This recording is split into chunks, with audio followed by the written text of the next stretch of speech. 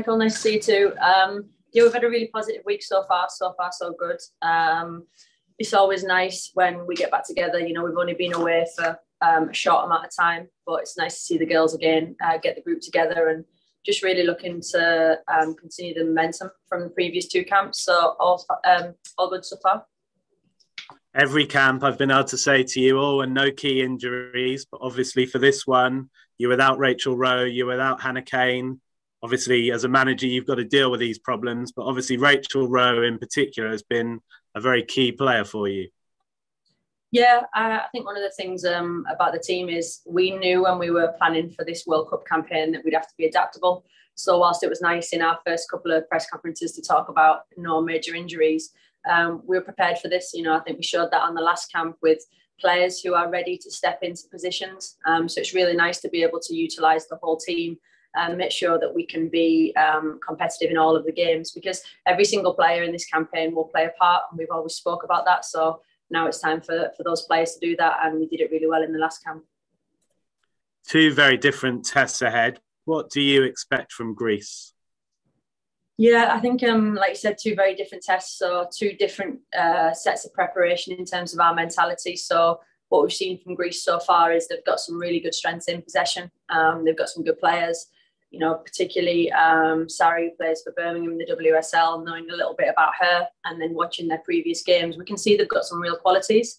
Um, and then we can see they've got some areas that we want to try and exploit. And that's what we've been doing this week. We've been looking at how we build on our team performance, but then how we can exploit the opposition as well.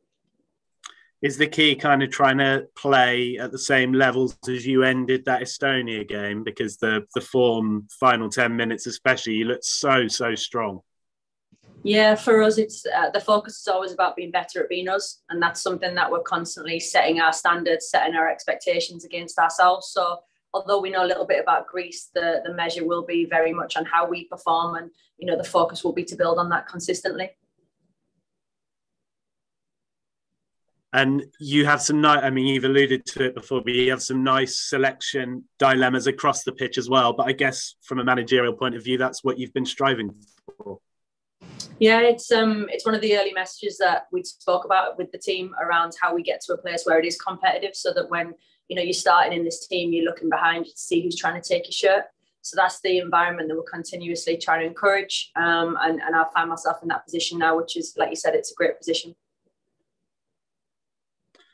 Will there need to be an element of obviously an early goal would be a lovely thing, but will there need to be an element of patience tomorrow night because obviously you need to win the game, you want to win the game, but it you know it's not going to be it's not going to be straightforward no you know we um in terms of our mindset we prepare for every game the same um we we know what we need to know about greece and that element of patience will come into it because you know we know that um, whether we get the early goal or whether we score goals late, that we want to continue to be the same throughout the whole game. So that mentality about being ruthless is something that we want to do from the first minute to the last minute in games. I don't want to talk too much about France. I'm sure you don't either because all your focus is on the first game. But obviously, we alluded to before, it's going to be a very different kind of challenge. You hope in those games you had at the beginning of your reign, the tough friendlies against Denmark and Canada, that they'll stand you in good stead because obviously, the higher the caliber of opposition, in theory, the better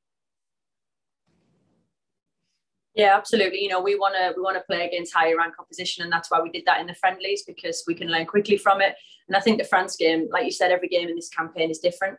Um, when we get to that game, we can talk more about what that means for us. But for sure, all our experiences um, pre the campaign and during the campaign will will set us up for both of these games. And just finally, Gemma, a message on the crowd because again, ticket sales are positive, over 4,000 sold. Obviously, you've switched venues, so you maybe wouldn't expect another record crowd, but positive that again, we're talking in good numbers for, for home international. Yeah, it's um it's one of the most positive things for us as a team, so as staff and players. You know, we're working really hard to um, make sure that we can do the right things on the pitch and that the fans can get behind us. Uh, for me, attending the men's fixtures in the last couple of weeks and seeing the power of the red wall and then the red wall in the Estonia game for us in the last game to double those attendance figures, you know, it's, it's huge for us and um, they will help us to be successful. Um, the girls know, the staff know, and there's so much hard work that goes on here behind the scenes from a staff point of view, from a player point of view, because we know what the fans mean to us, and we want to bring them with us every step of the way because they do help us to win games. Um, I'm excited because the noise the last time we played um, at the stadium was so loud. So to think that's doubled um, is just so exciting, and they're they're such an important part of what we do. Lovely. Thanks, Gemma. Best of luck. See you tomorrow. Thanks, Michael. See you soon. Just Michael, uh, Beth Fisher, Frank itv Hi, Gemma. All right. Hi, Beth. Um, listen, you're almost halfway through this campaign. I just wanted to kind of get your thoughts on how much you've enjoyed it and the challenges, really, given it's been, you know, an incredible eight months for you and the team. Yeah, for sure. I've enjoyed every minute of it. Um, it's um, it has been a whirlwind though, because you know, for you just to say that we're nearly, you know, we're going to be over halfway through the campaign. Um, I think I'm definitely going to need a lay down in December for sure. Um, but right now, we're just excited to be here. I'm excited. Um, it's exciting to work with a group of players and staff we have here because you can see the momentum and the drive and their passion, and that takes us every camp in a step in the right direction. Um, so when I first started in this role, one of the things I wanted to do was make sure we could get the best out of the players, both in and out of possession. And I think our playing identity has developed, which is so exciting. Um, but who we are as people as well, and developing that identity as a team has continued to grow two two crucial games. Obviously, Greece first, and, and they can't really, you know, despite the fact that they're leaking goals, they shouldn't be underestimated, should they?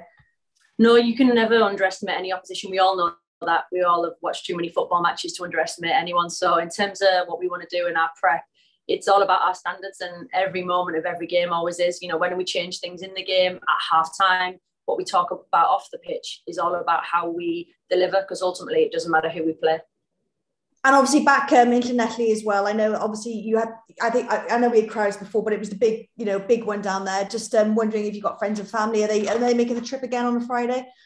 You know, Beth, I would love to say they are, but um, my sister booked my mum a trip to London, so they're currently going to London. So they're that's taking priority in my family. My dad's actually working. Uh, my partner Charlie will be heading down. That's about the only committed member of family that I have this time. All right. Well, we won't talk too much about that. And if you wouldn't mind, um, just a question, just away from Wales. There's been, you know, just around kind of uh, the protection of players. Obviously, another coach has been sacked in America. We know that the UK has its issues as well. You've been around the women's game a lot. We know that it's not just football. Do you feel the biggest issue and the biggest thing to fix within women's sport is this element of making it so that women and girls are protected within those teams? And I hope you don't mind me answering this. Feel free to say move on if you wish. No, absolutely. I think you know um, people feeling like they can be safe is is absolutely key, and that the protection for staff and players is something that we're really passionate about here. I think you know it's fair to say that women's football is on a journey from kind of an amateur place to professionalism. Are we there yet? No. So I think there's a whole lot of education that can take place, and I think it's recognizing where we are in our journey, what education needs to be in place, so ultimately players and staff are protected. Absolutely. Thank you for answering that. Listen, good luck tomorrow. Thanks, Beth. You got an England shirt on? It, you know what? It's Chelsea, but don't tell Neats because I. Yeah, I was just thinking that better not be a lioness.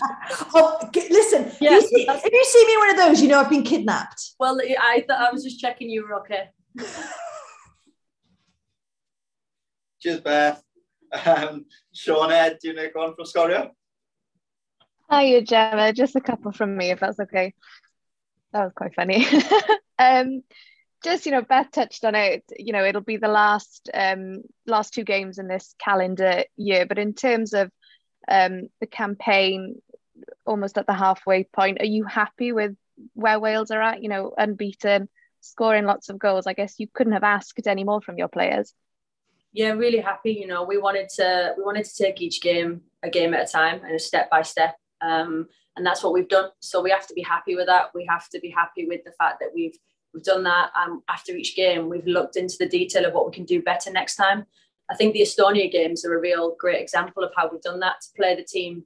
You know, we did twice in three weeks to be able to see the improvements and be able to execute them, you know, from the away game to the home game is a real sign of this team's mindset in terms of their wanting to learn, their competitiveness. And we're all really focused on what we're here to do. Um, and that's one of the, the nicest things about working with the group is that they're so focused on, on what the goal is. And so far, so good you mentioned what you'd like to do better. What would you like to see from your team over these next two games?